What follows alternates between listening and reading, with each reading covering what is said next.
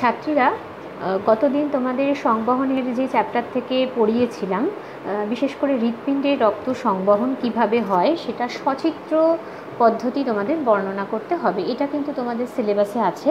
খুব ভালো করে ছবি এঁকে তোমরা প্র্যাকটিস করবে। তো যেহেতু পরীক্ষার সময় কালার করা বা করার একটা সময় খুব একটা পাওয়া যায় না। কালার করে দিলে ভালো, কিন্তু কালার করার সময় থাকে না। তো তোমরা কি করবে? তোমরা পেন্সিলের সাহায্যে ছবিটা আঁকবে। এবং পেন্সিল দিয়েই তোমরা ওই যে রেখাচিত্র অর্থাৎ অ্যারো তীর চিহ্নের সাহায্যে তোমরা যে মানে কোথায় কোথায় দিয়ে রক্ত যাচ্ছে, কোথায় কার মাধ্যমে রক্ত হৃৎপিণ্ডে প্রবেশ করছে সেগুলো বোঝাতে পারবে, কেমন? আচ্ছা এই আজ আমি যেটা আলোচনা করব, আমরা একেবারে শেষ পর্যায়ে চলে এসেছি, খুব একটা বেশি কিছু আলোচনা করার নেই। রক্তচাপ নির্ণয় করা হয় স্পেগমো ম্যানোমিটার যন্ত্রের সাহায্যে, কেমন? স্পেগমো ম্যানোমিটার যন্ত্র, একটা যন্ত্র যার সাহায্যে আমরা ব্লাড প্রেশারটাকে চেক করি। এখন ব্লাড প্রেশার বা রক্তচাপজনিত একটা সমস্যা আছে, আমরা জানি। একটা হয় নিম্ন রক্তচাপ, একটা হচ্ছে উচ্চ রক্তচাপ। তো উচ্চ রক্তচাপে যে সমস্যাগুলো হয়, সেটা আমি একটু আলোচনা করে নেব। আর কিছু হৃদ হৃদ সংবহন বা হৃদ পিণ্ডকে ঘিরে কিছু সমস্যা দেখা যায়, সেইগুলো আমি একটু আলোচনা করে নেব। তারপর তোমাদের আরশোলার সংবহনটা বলে দেবো। তো র, উচ্চ রক্তচাপ যখন হচ্ছে, তখন দেখা যাচ্ছে আমরা বুঝব কী করে। কোনো রকম কারণ ছাড়াই কিন্তু উচ্চ রক্তচাপ হচ্ছে। আমরা কিন্তু বুঝতে পারছি না। কোনো কারণ ছাড়াই হচ্ছে, লক্ষণ বোঝা যাবে। প্রচণ্ড মাথা ঘুরবে, অল্প পরিশ্রমেই বুক ধরফর করবে, মনে হবে যেন আর কোনো কাজ করতে পারা যাচ্ছে না এটা। এবং তার সঙ্গে ওজন ক্রমাগত হ্রাস পেতে থাকবে, ঠিক আছে? তো এগুলো সব কিন্তু উচ্চ রক্তচাপের লক্ষণ। এবং তাকে আমরা কি করে স্বাভাবিক নিয়মে প্রতিকার করতে পারি? প্রথম কথা, আমরা না জেনে শুনে নিজেদের ইচ্ছা মতো কোনো ওষুধ কিন্তু খেতে পারি না। অবশ্যই তার জন্য ডাক্তার বা চিকিৎসকের কাছে যেতে হবে। তাছাড়াও আমরা প্রাথমিক নিয়মে যদি প্রথম থেকেই কিছু জিনিস অভ্যাস করি, স্বাভাবিক আমাদের জীবনযাত্রার মধ্যে রাখি, তাহলে কিন্তু দেখা যাবে যে এই উচ্চ রক্তচাপকে আমরা নিয়ন্ত্রণে রাখতে পারব। কীরকম? না, খাদ্যে প্রচুর পরিমাণে সবজি রাখতে হবে, প্রচুর ফল খেতে হবে। আর যাদের উচ্চ রক্তচাপ আছে, তারা নুন একটু কম খাবে। কেমন?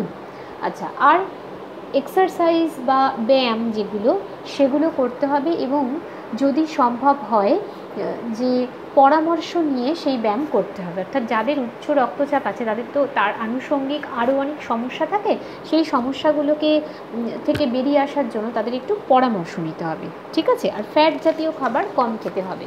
যদি সে বা যার উচ্চ রক্তচাপ আছে, সে যদি খুব বেশি এক্সারসাইজ না করতে পারে, এমনও আছে যে যারা করতে পারছে না বা সময় পাচ্ছে না, সেক্ষেত্রে হাঁটা চলাটা তাকে করতে হবে এবং অন্তত আধ ঘণ্টা সেটা করতে হবে। আচ্ছা এ তো গেল রক্তচাপজনিত সমস্যা। ধমনির কিছু সমস্যা দেখা যায়। অর্থাৎ ধমনিতে যদি কোনো সংক্রমণ হয় বা ধমনিতে যদি কোনো সমস্যা হয়, তখন কিন্তু এক এক একটা গভীর থেকে গভীরতম অসুখ কিন্তু হার্টের অসুখ দেখা দিতে পারে। যেমন আর্টারিওস্ক্লেরোসিস। আর্টারি মানে হচ্ছে ধমনী। আর্টারিওস্ক্লেরোসিস কী হতে পারে? ধমনির প্রাচীর, তোমরা পড়েছো, ধমনির গঠন যখন পড়েছো, তখন নিশ্চয়ই পড়েছো যে ধমনির প্রাচীর পুরু তো ধমনির প্রাচীরের ভেতরে, অর্থাৎ অন্তর্গ্রাত, গাত্রে, ধরো এরকম যদি ধমনি হয়, ধমনি এভাবে তো একটা রক্তবাহ পাইপ লাইক স্ট্রাকচার এভাবে ঢুকছে, অন্তর্গাত্র মানে হচ্ছে এর ভেতরের পোর্শনটা ঠিক আছে? তো এই ভেতরের পোর্শনটা যে ভেতরে রয়েছে, সেই অন্তর্গাত্রে কোলেস্টেরল আর ক্যালসিয়াম যদি সাময়িকভাবে জমা হতে থাকে, তখন কি হলো? একটা পাইপের মধ্যে যদি কিছু জমা হতে থাকে, তাহলে পাইপের যে ব্যাসটা থাকবে, সেই ব্যাসটা আস্তে আস্তে কমতে শুরু করবে। সেই পাইপের মধ্যে দিয়ে যদি কোনো তরল যায়, তাহলে যতটা আগে যেত, ওই ভেতরে সেই পদার্থগুলো জমে যাওয়ার ফলে কম যাবে। এখানেও সেই জিনিসটা ঘটে। ধমনির ব্যাসটা ছোট হয়ে যাওয়ার ফলে, ওই কোলেস্টেরল ক্যালসিয়াম জমে যাওয়ার ফলে রক্তটা ঠিকমতো প্রবাহিত হতে পারে না, তার ব্যাসটা কমে যায়। এবং তখনই দেখা যাচ্ছে রক্ত সরবরাহ হ্রাস পায় এবং রক্তচাপ বৃদ্ধি পায়। এক্ষেত্রে দেখো কি হতে পারে? মস্তিষ্কে রক্তক্ষরণ হতে পারে। মস্তিষ্কের যে কোষ আছে মানে যে রক্তবাহের যে কোষগুলো আছে, সেগুলো ফেটে যায়। ফেটে গিয়ে মস্তিষ্কে রক্তবাহন রক্তক্ষরণ হয়, যেটা আমরা হ্যামারেজ বলে থাকি। তো সেটা হতে পারে এবং তার সঙ্গে সঙ্গে হার্ট অ্যাটাকও হতে পারে। এটা হচ্ছে আর্টেরিওস্ক্লেরোসিস হার্ট অ্যাটাক, তাকে আমরা কি বলব? মানে নর্মালি আমরা যেটাকে হার্ট অ্যাটাক বলে থাকি, কীভাবে হয়? করোনারি ধমনীতে প্রতিবন্ধকতা, অর্থাৎ কোনো বাধা। করোনারি ধমনীতে যে কোনোভাবে কোনো বাধা প্রাপ্ত হলে বা কোনো বাধা হলে তখন দেখা যায় হৃৎপেশি, হৃৎপিণ্ডের মধ্যে একটা স্বয়ংক্রিয় পেশি থাকে, যেটাকে আমরা বলি হৃৎপেশি। কোনোভাবেই তাকে কিন্তু চালনা করা যায় না। সে কিন্তু স্বয়ংক্রিয় পেশি, নিজের মতন করে সংকুচিত প্রসারিত হতে পারে। তো সেই হৃৎপেশিতে অক্সিজেন সরবরাহটা কমে যায়। তোমরা জানো যে কোনো কোষে বা যে কোনো জায়গায় যদি অক্সিজেন সরবরাহ কমে যায়, তাহলে কিন্তু তার লংজিভিটি অর্থাৎ তার যে একটা সুস্থ থাকার প্রবণতা সেটা কিন্তু কমে যাবে। তাই না? তো, এবং সাথে সাথে দেখা যাচ্ছে করোনারি ধমনীতে কিছু ক্লট পাওয়া গেল। তোমরা শুনে থাকবে, এইগুলো তো মেডিকেল টার্ম তো ক্লট পাওয়া যায়, অর্থাৎ রক্ত জমাট বেঁধে যায়, সেটাও হতে পারে। তো সেক্ষেত্রে হার্ট অ্যাটাক মাইল্ড অ্যাটাকও হয়, আবার খুব বড় ধরনের অ্যাটাকও হতে পারে। লক্ষণ কি? বুকে ব্যথা, খুব শ্বাসকষ্ট যেন মনে হচ্ছে শ্বাস এক্ষুনি বন্ধ হয়ে আসবে, এটা হতে পারে, চোখ মুখ ফুলে যেতে পারে, এগুলো হচ্ছে কিছু কমন সিমটম ঠিক আছে? এগুলো হলো হার্ট অ্যাটাক প্রাথমিক নিয়ম অনুসারে কী করা হয়? মেসেজ করা হয়। ডাক্তাররা বলে বা যে কোনো ক্ষেত্রে হাতে পায়ে মেসেজ করতে হবে। ভালো করে তার হার্ট হার্টে যে প্রবলেমটা হয়েছে তার জন্য যে মেসেজটা করার ফলে কী হয়? ব্লাড সার্কুলেশনটা বেশি হয়। মেসেজ করা মানে এমনভাবে স্কিনের ওপরে ঘষতে হবে যাতে ব্লাড সার্কুলেশন বেশি হয় এবং ব্লাড সার্কুলেশন বেশি হওয়া মানে অক্সিজেনটাকে পাস করানো হয় মানে যেতে সাহায্য করা হয়, কেমন? তো অক্সিজেন যত বেশি যাবে, তত কিন্তু দেখা যাবে তার মধ্যে থেকে সমস্যাগুলো দূরে, দূরীভূত হচ্ছে। কিন্তু যদি খুব গভীর ধরনের অ্যাটাক হয়, তাহলে কিন্তু সেখান থেকে রেহাই পাওয়া মুশকিল। তখন সেখানে চিকিৎসা ছাড়ার কোনো গতি থাকবে না, অর্থাৎ চিকিৎসককে ডাকতে হবে। তো এগুলো খুব সাধারণ কিছু হৃদযন্ত্র বলো বা হৃৎপিণ্ড বলো, হৃৎপিণ্ড ঘটিত সমস্যা আমি তোমাদের কাছে আলোচনা করলাম। আমি বলেছিলাম যে তোমাদের বইতে আরশোলার সংবহন দেওয়া আছে, কিন্তু আমি মানব সংবহন পড়াচ্ছিলাম বলে আমি আরশোলার সংবহনটা তখন আলোচনা করিনি, এখন আমি আলোচনা করব। প্রথম কথা, আরশোলার সংবহন যখনই আমি যাচ্ছি, তখনই একটা কথা বলি, আমরা মানব সংবহনে কিন্তু বদ্ধ সংবহন করেছি, আরশোলার সংবহন কিন্তু সেটা নয়। এখানে চারটে প্রধান অংশ আমরা পাবো। কী কী পাবো? আচ্ছা প্রথমে পাবো দেহ গহ্বর হিমোসিল যাকে বলা হয়। তারপরে পাবো হিমোলিম্ফ বা রক্ত। তারপর পাবো পৃষ্ঠীয় বাহিকা, যার মধ্যে দিয়ে মানে বাহিকা মানে যার মধ্যে দিয়ে যাবে আর কি, পৃষ্ঠীয় বাহিকা। এবং লাস্টে আমি পাবো সেটা হচ্ছে তোমার কিছু স্পন্দিত অঙ্গ মানে স্পন্দনশীল কিছু অঙ্গ ওদের শরীরে থাকে। এখন হিমোসিলটা কি? পেরিটোনিয়াম আবরণ নেই এমন একটা গহ্বর যার মধ্যে হিমোলিম্প আছে। পেরিটোনিয়াম আবরণ যেটা নেই, যার মধ্যে সেটা দেখতে পাচ্ছি না আমরা, সেটা অনুপস্থিত, অথচ যার মধ্যে হিমোলিম্প আছে। সেটাকে বলা হচ্ছে হিমোসিল।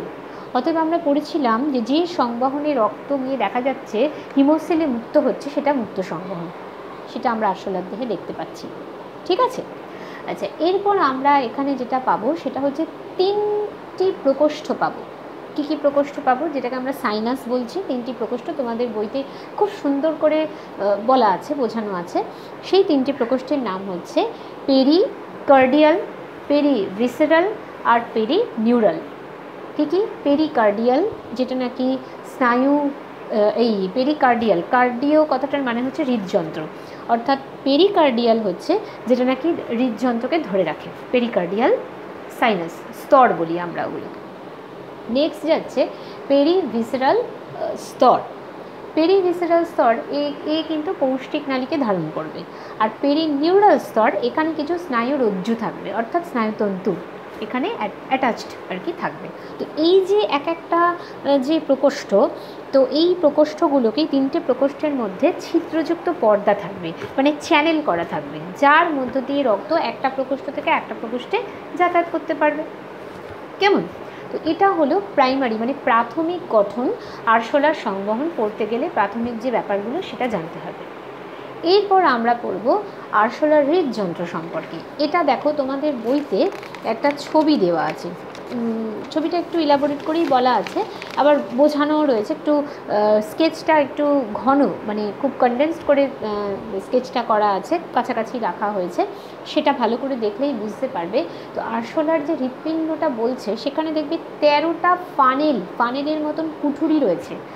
কেমন? কুঠুরি মানে ছোট ছোট ফানেলের মতন স্ট্রাকচার সেই তেরোটা ফানেলের বিভক্ত করা রয়েছে।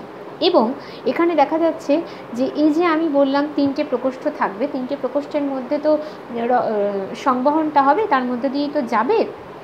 তো এখানে দেখা যাচ্ছে এই সংবহনের সময় সংকোচন আর প্রসারণে একটা পেশি কাজে লাগছে সেটাকে বলছে অ্যালারি পেশি। এটা তোমাদের ছোট প্রশ্নেও আসে যে আরশোলার সংবহনে আমরা একটা পেশির উল্লেখ পাই, সেই পেশির নাম করো অ্যালারি পেশি। তো পেরিকার্ডিয়াল সাইনাস মানে পেরিকার্ডিয়াল প্রকোষ্ঠে সেখানে প্রাচীরে মানে ওই প্রাচীরের সঙ্গে অ্যালারি পেশি একটা গুরুত্বপূর্ণ ভূমিকা গ্রহণ করবে। এবারে তোমাদের একটা কথা বলে রাখি যে কোথা থেকে কোথায় সংবহনটা হচ্ছে। হৃদ যন্ত্র আরশোলার হৃদ যন্ত্র থেকে ডরসাল অ্যাওরটাতে প্রথমে রক্ত গেল। ডরসাল অ্যাওরটা আমি যদি একটা রেখাচিত্র করি। হৃদযন্ত্র সেখান থেকে ডরসাল অ্যাওরটায় গেল, ডরসাল অ্যাওরটা থেকে মস্তিষ্ক গহ্বরে গেল।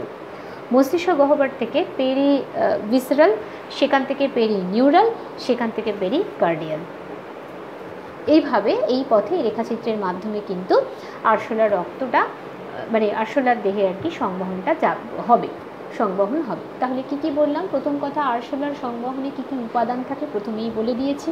হিমোলিম্ফ কি? হিমোসিল কি? কেনই বা হিমোসিল এদের দেহে থাকছে? আর এই যে প্রকোষ্ঠগুলো বললাম, সেই প্রকোষ্ঠ যে তিনটে প্রকোষ্ঠ, মূল প্রকোষ্ঠ থাকে, সেই প্রকোষ্ঠগুলোর নাম কি? এবং সেই প্রকোষ্ঠগুলোর মধ্যে কি কি উপাদান, অর্থাৎ কোন কোন অঙ্গের সঙ্গে যুক্ত থাকে? আর হৃদযন্ত্র কেমন দেখতে?